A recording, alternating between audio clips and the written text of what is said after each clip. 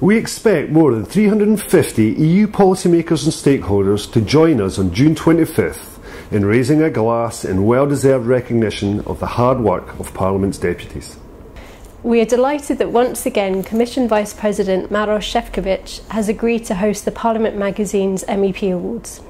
So the members of the European Parliament are the vital link between the EU institutions and the citizens, and therefore I will be very glad that also this year I will be able to uh, honor the work of uh, those MEPs who've been uh, appreciated the most uh, by their uh, fellow colleagues. It's a very good opportunity to profile and to show the, the work of passionate uh, men and women um, that are doing their best to serve the interests of uh, the uh, European um, citizens.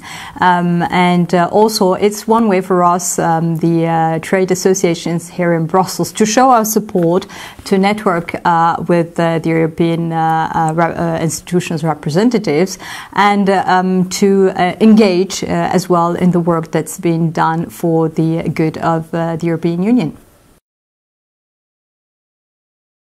It is a great honor for me to be nominated for the Gender Equality MEP Awards. I believe that through the successful completion of the Fundamental Rights Report 2010-2011, as well as the huge amounts of work done behind scenes, we have pushed gender equality issues much further.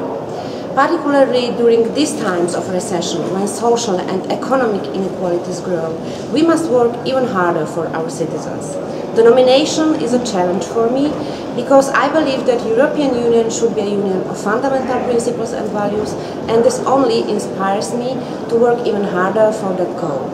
I would like to thank everyone who nominated me and also those who will give me their future support. Thank you very much. Cette nomination est un plaisir, est un honneur pour moi.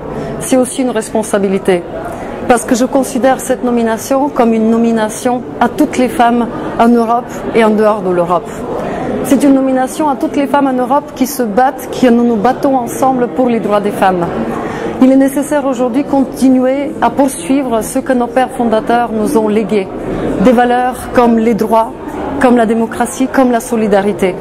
Il est nécessaire également qu'aujourd'hui, on continue à mettre fin aux violences faites aux femmes il est extrêmement important qu'on donne aux femmes la possibilité de développer tout leur potentiel, de nous montrer leur qualité. Et c'est pourquoi il est nécessaire que les femmes puissent participer à la prise de décision politique, économique et sociale. Et ce, aux plus hautes sphères du pouvoir. Il est nécessaire qu'ensemble avec les femmes, on continue à défendre notre société et notre Union européenne démocratique parce qu'il n'y a pas de démocratie sans que l'égalité entre hommes et femmes soit respectée. Dès lors, cette nomination est aujourd'hui pour moi la reconnaissance pour le combat de toutes ces femmes qui chaque jour continuent à défendre et à promouvoir les valeurs de l'Union européenne, notamment l'égalité de genre. It's great that I have been nominated and it's great to be nominated what for? For my fight for women's rights and for my fight for more gender equality here in this House in the European Parliament. We have a great job to do and the story is about to make successful enterprises, to motivate them, to take women on board, but not only there, to have a better gender policy and to do that jointly here in this House in the European Parliament.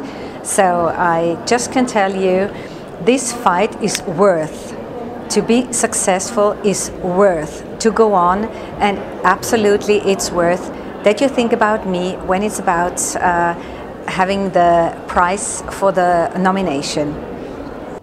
We look forward to seeing you all once more for another night to remember on June 25th.